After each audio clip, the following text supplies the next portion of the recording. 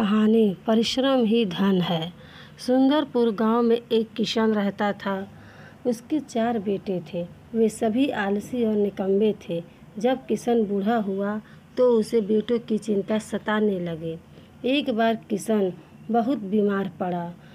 मृत्यु निकट देखकर उसने चारों बेटों को अपने पास बुलाया।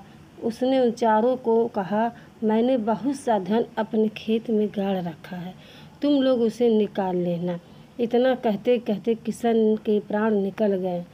पिता का क्रियाक्रम करने के बाद चारों भाइयों ने खेत की खुदाई शुरू कर दी।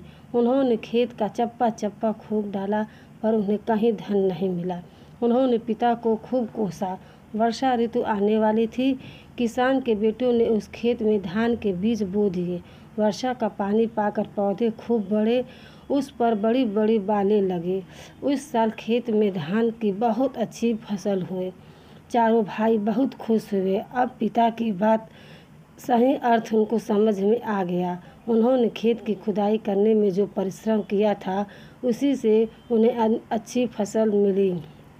इस प्रकार श्रम का महत्व समझने पर चारों भाई मन लगाकर खेती करने लगे।